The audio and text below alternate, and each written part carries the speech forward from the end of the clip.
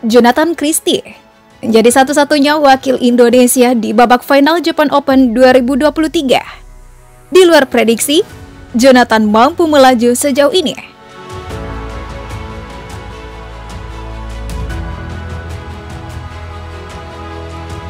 Rentetan perjuangan dipertaruhkan, ujung-ujungnya bertemu si alien asal Denmark Victor Axelsen. Sembilan kali berjumpa, Jonathan pernah memenangkan laga dua di antaranya. Peringkat satu versus peringkat sembilan dunia.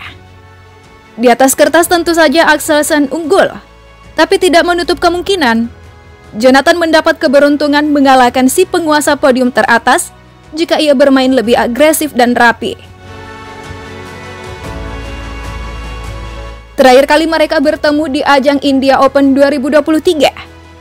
Jonathan kandas di babak semifinal oleh Axelsen dengan skor tragis 6-21, 12-21. Terlalu banyak error, tapi daya juang Jonathan kala itu patut diacungi jempol.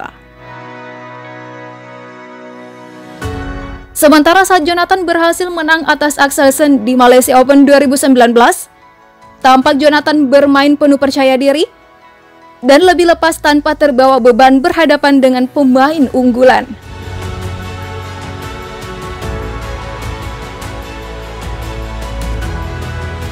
Menutup laga, Axelsen bahkan dibuat tersungkur di lapangan, saking cantiknya placing yang dilakukan Jonathan.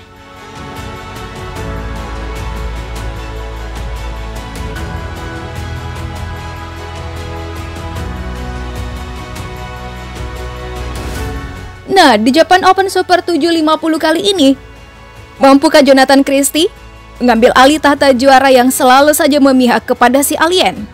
Mari kita nantikan.